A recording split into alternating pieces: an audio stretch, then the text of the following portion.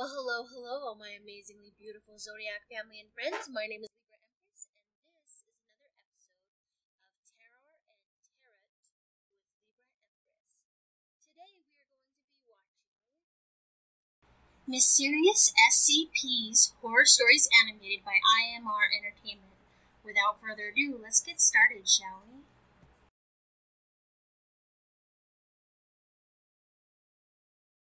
Richard. He is the calmest patient of this asylum. He does nothing except stare out of a window. It's been two years now, and he hasn't spoken. No one knows what happened to him. He was shifted here directly from the hospital.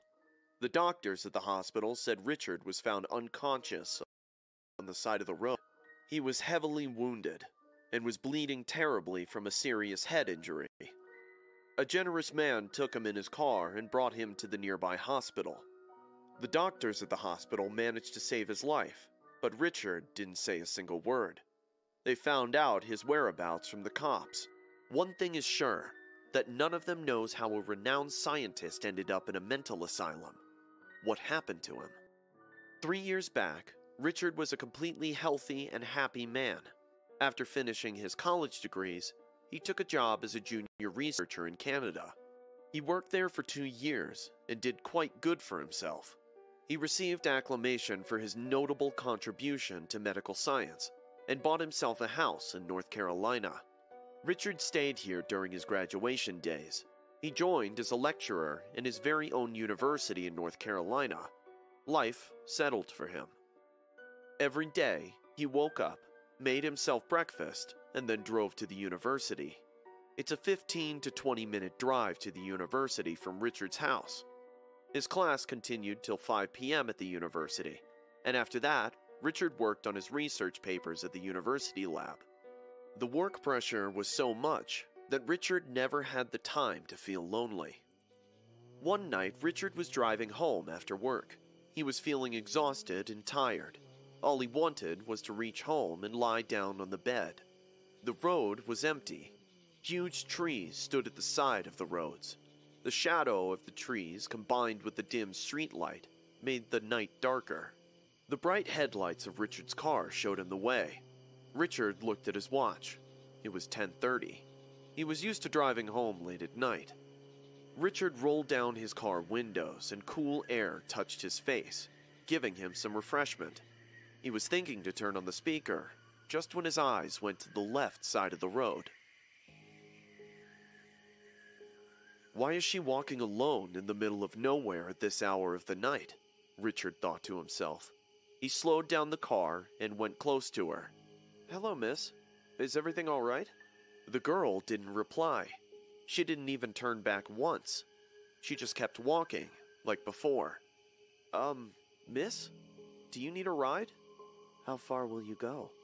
Well, my house is ten minutes from here. Where are you going? To my house. It's near the lake at the end of the road. I will take the left turn ahead.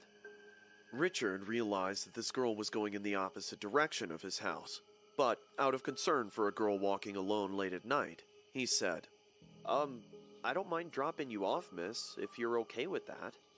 The girl turned around. Her eyes were wide and bright. She had a beautiful face, but her skin looked so pale. There was a painful expression on her face, as if she forgot to smile forever. She didn't sit beside Richard. She walked to the other side of the car and sat in the back seat. Richard felt a bit insulted by her behavior, but then he thought that she might be feeling scared. Richard started his car without wasting any time. He will drop her and then head home.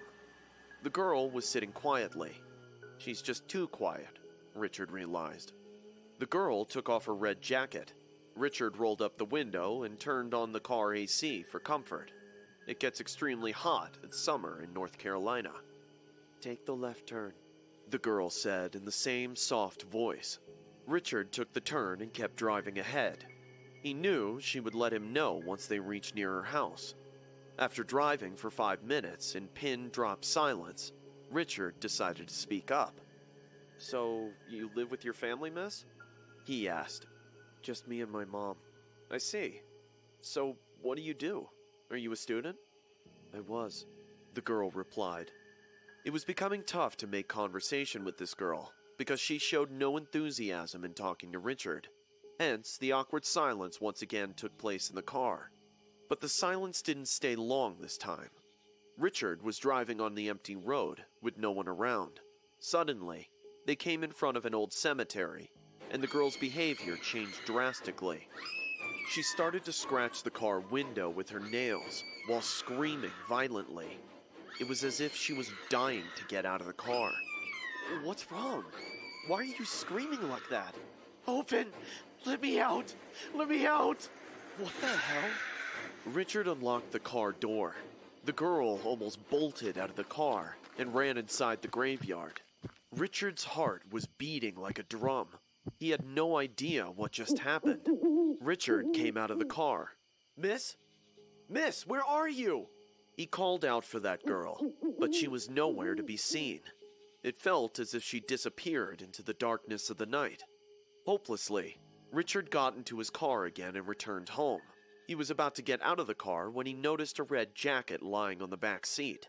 This must be the girl's jacket. Richard decided to visit her house the next morning and return her jacket. He needs to check out on her. Richard took a shower and finished his dinner. The entire night, he couldn't help but think about that girl. Don't know why, but she seemed so familiar to Richard. While thinking all of this, Richard fell asleep. When he woke up, sunlight was flooding into his bedroom. He got ready and he decided to drop by the girl's house after work today. Richard took the red jacket and started the car engine. The same road that was appearing spooky at night is now standing like an artist's landscape. Richard finished his work after class and left for the girl's house. When Richard saw the lake at the end, he realized the girl's house is not far. The moonlight made the lake water glitter in the dark.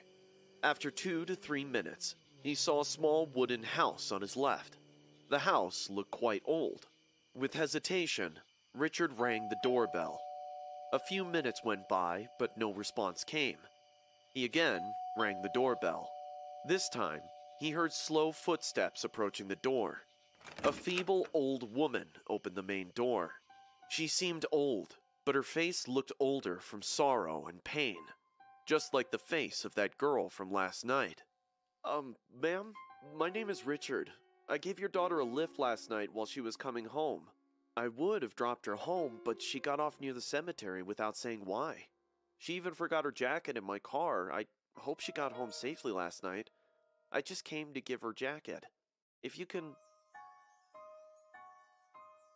Ma'am? What's wrong?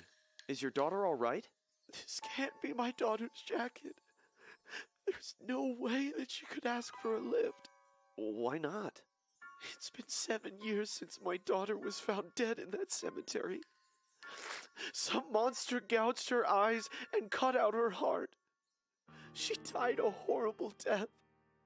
My poor Lydia. The woman broke down into tears, holding the main door. Richard noticed a big photograph hanging on the wall nearby. The same girl from last night was in the photograph, except she was standing in front of the science lab of North Carolina University. Oh my god, it was her! Richard stumbled back to his car. He remembered her.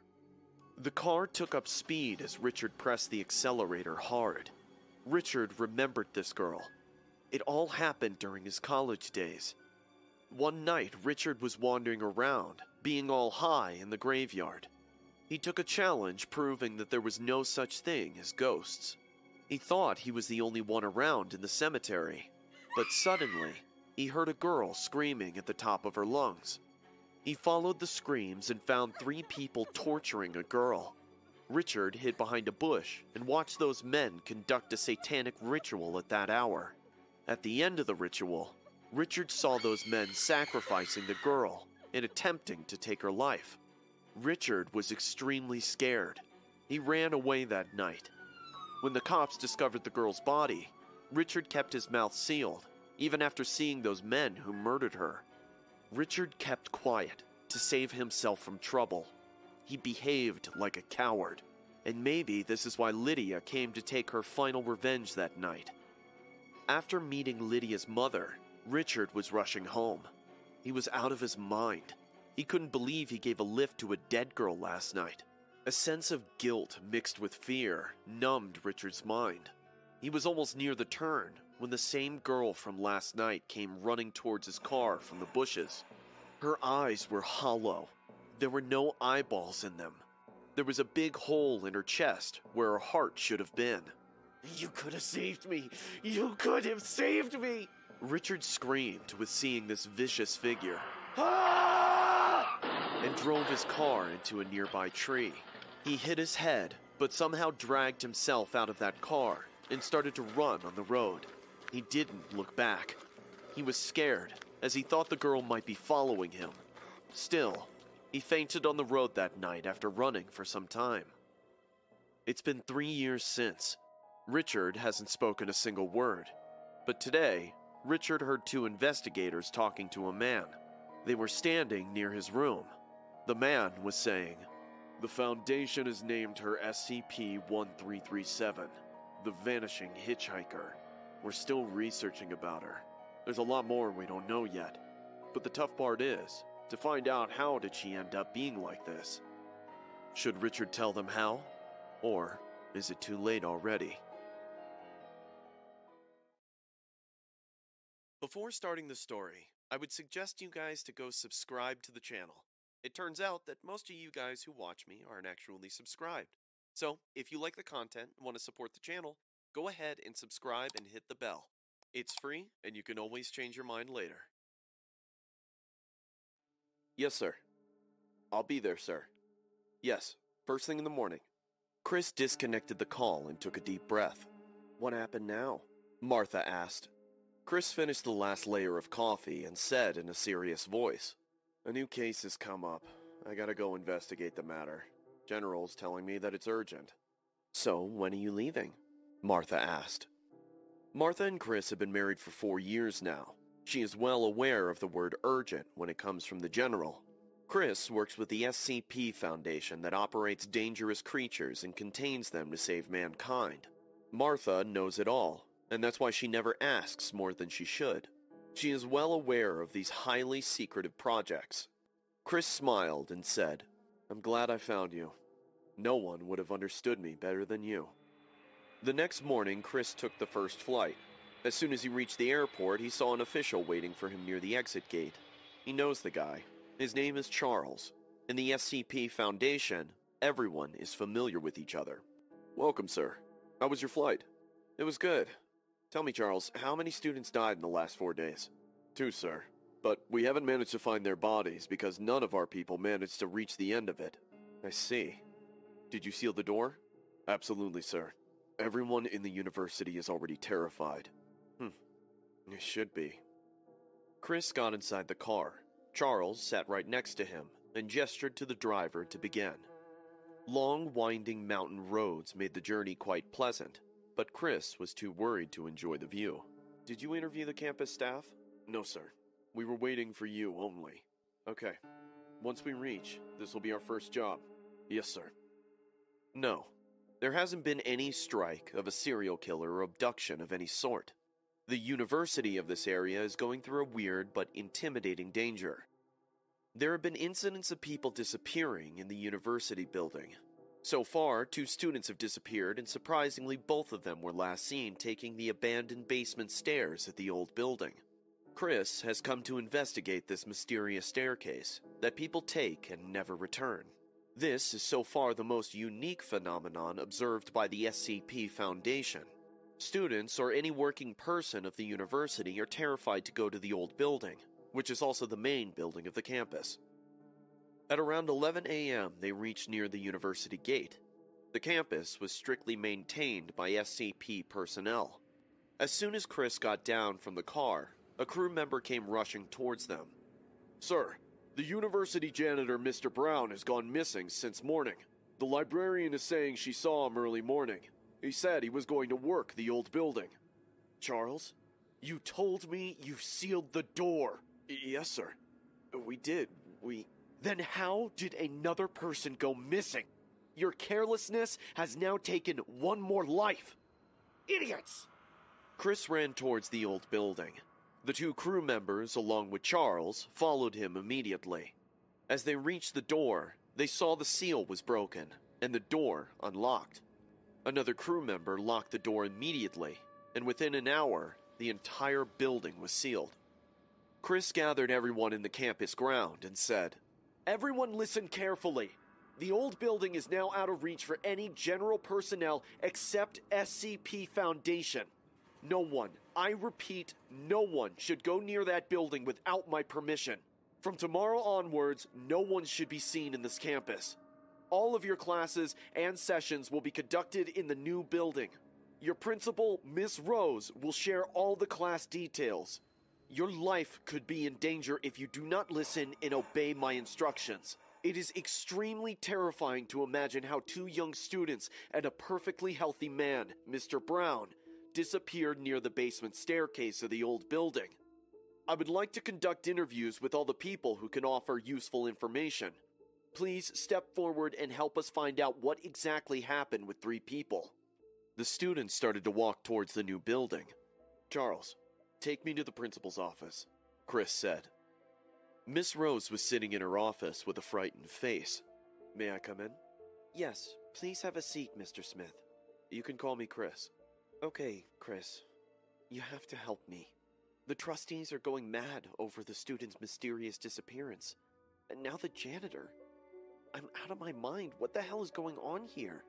If you want us to help you, you're gonna have to calm down and tell me everything you know about this staircase. Miss Rose drank water from the glass and took a deep breath and said, What do you want to know? How long has this old building been in use? Chris asked. The old building was closed for the last 10 years. We were using the new building only, but due to the increased number of students, the trustees decided to renovate the old building and shift some classes there. It's been three months since we started using that building. Everything was going fine.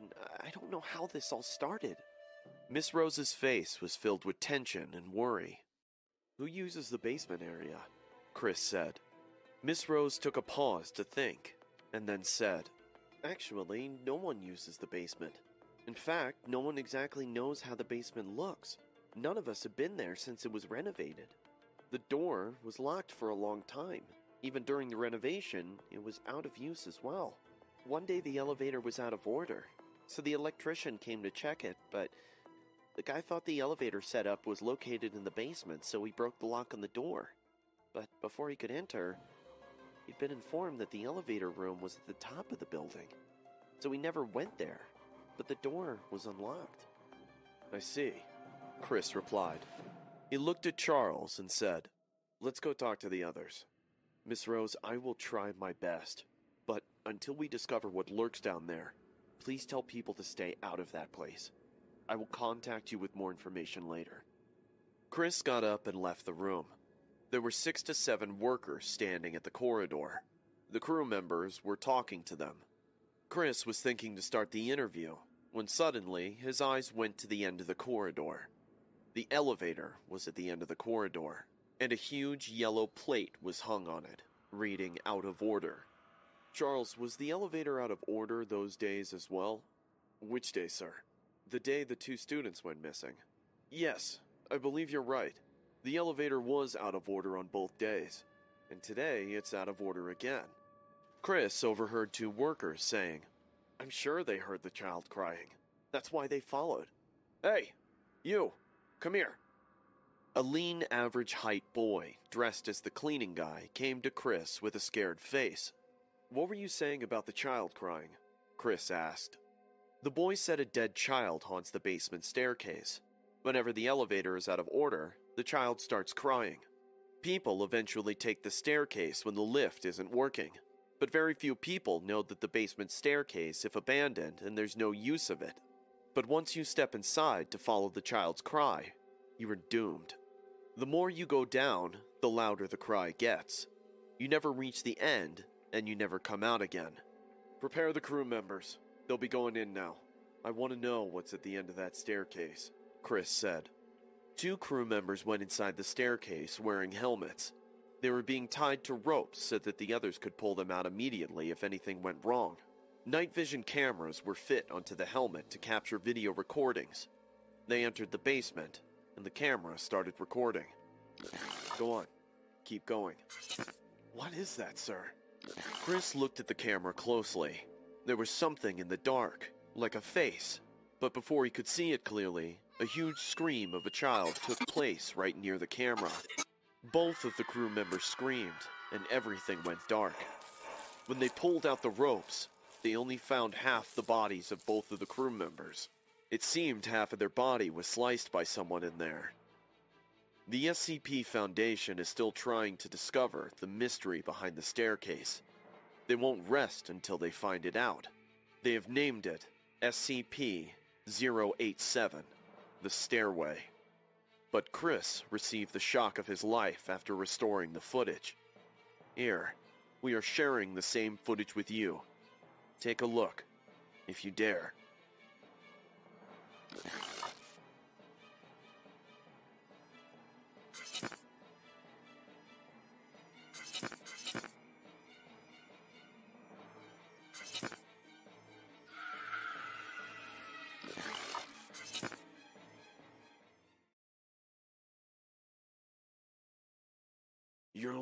Daniel, Dr. Buchanan said. Daniel stood outside the lab with an awkward face. He just joined the Foundation as a trainee. It won't happen next time, Dr. Buchanan. Huh, it better not. Dr. Buchanan gave Daniel a warning stare and began his demonstration. Daniel on the second last table of the lab.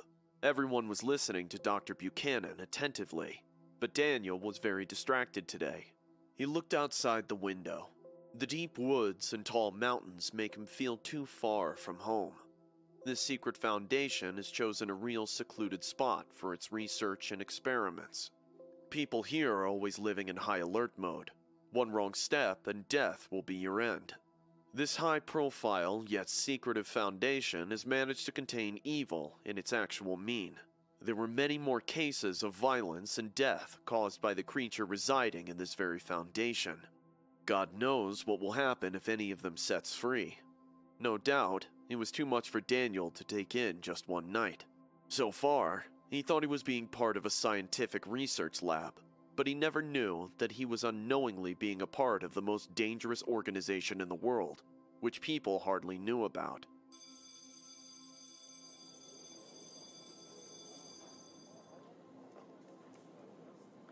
I hope you started on your research paper, Daniel. I won't delay the deadline this time. Daniel looked at Dr. Buchanan and replied, Um, yeah, I'll submit on time this time. Among every people here, Dr. Buchanan is the most difficult one to impress. Daniel has a gut feeling that this man hates him. Daniel came out of the lab. Miranda was standing in the hallway, talking to some other colleagues. She almost rushed towards Daniel and said, Where were you? You were supposed to meet me in the morning. Daniel had completely forgot. Oh, I'm sorry, Miranda, I forgot. I'm a bit distracted since last night. Why? Is everything okay? Are you alright? Yeah, yeah, I'm fine. Just the pressure of work, I guess. Daniel said, giving a fake smile. Miranda guessed something was off with him today. She tried to cheer him up, saying, Come on, let's go to the cafeteria. I'm extremely hungry. Both of them started to walk towards the cafeteria. Daniel was walking quietly, while Miranda kept talking. Suddenly, Daniel said in a hesitant voice, Did you know this place holds lots of dark secrets? Come on, Daniel. This is a scientific research facility. Science will always have its dark secrets. Daniel replied, No, that's not what I'm trying to say. You do know that this foundation has contained many dangerous specimens that can demolish humanity, right? Miranda looked around and said, Did you know that today a new specimen is going to arrive? I've heard it's so violent and dangerous. They'll be bringing it here during midnight. What kind of specimen? SCP 173. What kind of specimen is that? You'll find everything in the database. You do know how to hack it, right? Miranda laughed and walked into the cafeteria. Did she just tell me to hack the system? Daniel thought to himself. Everyone was busy having lunch. Daniel realized that this was the ideal time. He quickly walked towards the computer lab. There were only two people in the lab, and they were sitting at some distance. Daniel sat in front of a computer and started to hack the database. After 20 minutes, he managed to step inside the database. Everything this facility owns has a record in this database. Daniel searched SCP 173. A page opened with a bizarre image. SCP 173 looked like a huge sculpture, but with a distorted face. The first paragraph about this specimen read Item SCP 173 is to be kept in a locked container at all times.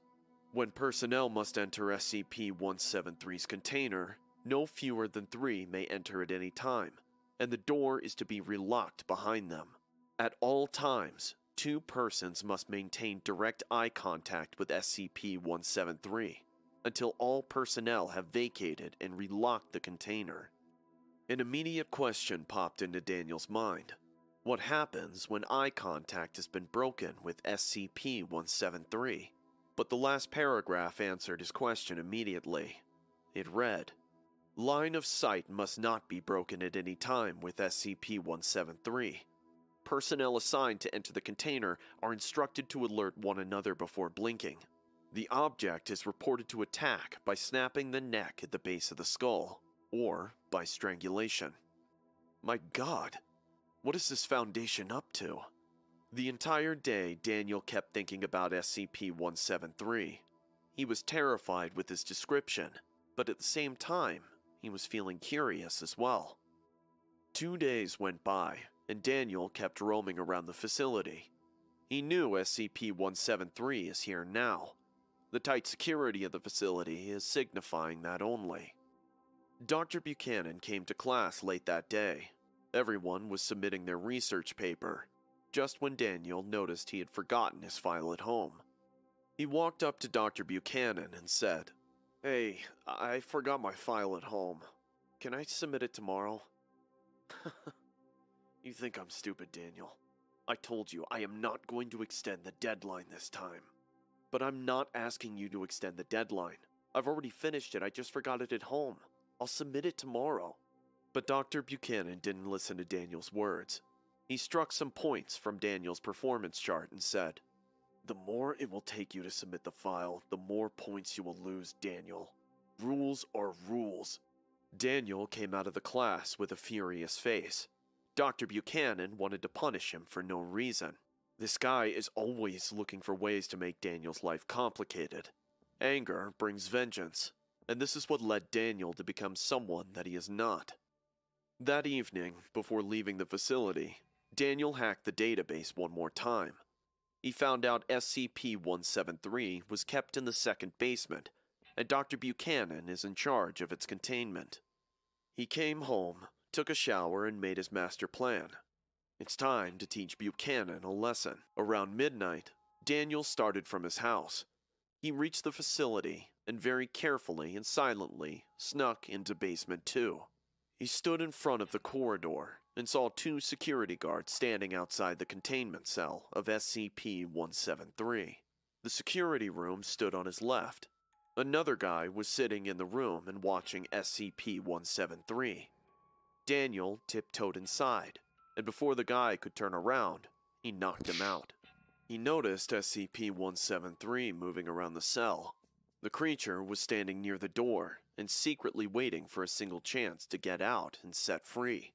He called Dr. Buchanan from the security room and said, Hurry up, Doctor. You must come soon. SCP 173 is showing new signs in its behavior. The security has entered its cell and maintaining eye contact. You must hurry up now. And disconnected the call. Daniel then dressed in a lab coat and wore a protective mask to hide his face. He then walked to the security guard standing outside and said, You can all be released now. Dr. Buchanan will be here with his team. We're going to run some experiments on SCP 173. The guards looked at each other in suspicion.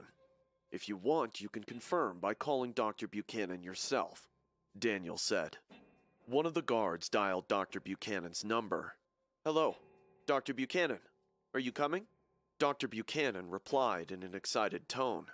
Yes, yes, I am almost near the facility. The guards then walked away, leaving Daniel in front of the containment cell alone. Daniel's plan worked out. All he had to do now was wait for Buchanan to arrive. After five minutes, Dr. Buchanan came rushing down the corridor. Where is everyone? he asked.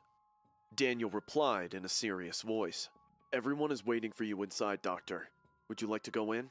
Dr. Buchanan replied. Okay, but how many people are keeping eye contact with SCP 173? Daniel replied. Three personnel are there already. You will be the fourth one to enter. Dr. Buchanan was so excited that he forgot to ask for ID proof or any detail of the man telling him all this. He had no idea what was waiting for him inside the door. Come on, Doctor. Everyone is waiting for you inside, Daniel said in the same fake voice. Dr. Buchanan opened the containment cell with his key. It's a rule to lock the containment cell, even if there are people inside. Under no circumstances, these creatures can be left unlocked. Without a single doubt, Dr. Buchanan opened the door and quickly stepped in. Daniel didn't waste a single second, as he saw the sculpture running at Dr. Buchanan in full speed. But you said.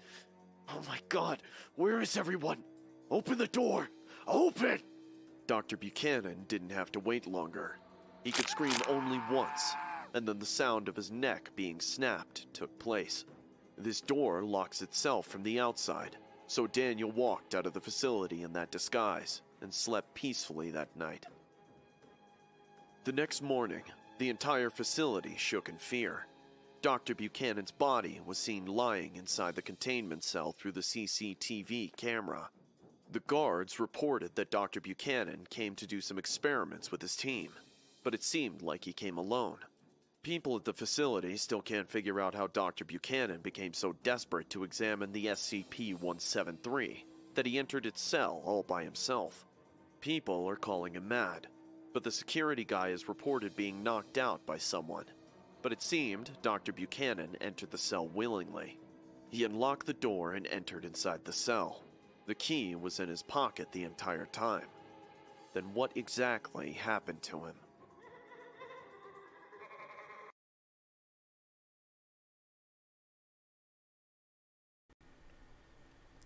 All right, that was three mysterious SCPs horror stories animated by IMR Entertainment.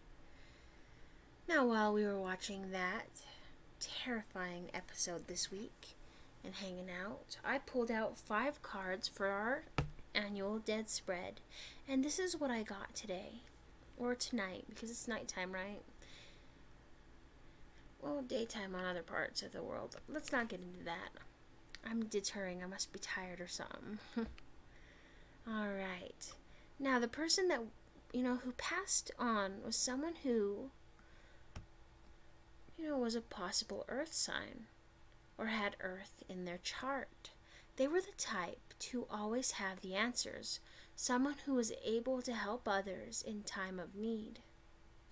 Now, looking back on their life, they wish they had paid more attention to their surroundings and the people around them. Possible air sign energy. A lesson they would like to share is stay patient in your endeavors. Everything will fall into place for you. Something they wish they had paid more attention to their dreams and wish fulfillment. Instead of deviating from them, they felt like they didn't get enough time to accomplish them. Now, a message they would like to share is don't give up on what you want in life, because working for yourself and enjoying life to the fullest will fulfill you or will fulfill your desires better. Alright? Alright. I love you all. Thank you so much for listening to me. My name is Libra Empress. Please don't forget to hit like, subscribe, and share. And I will see you for next week's Terror and Tarot with me, Libra Empress. Stay safe. Love you. Bye.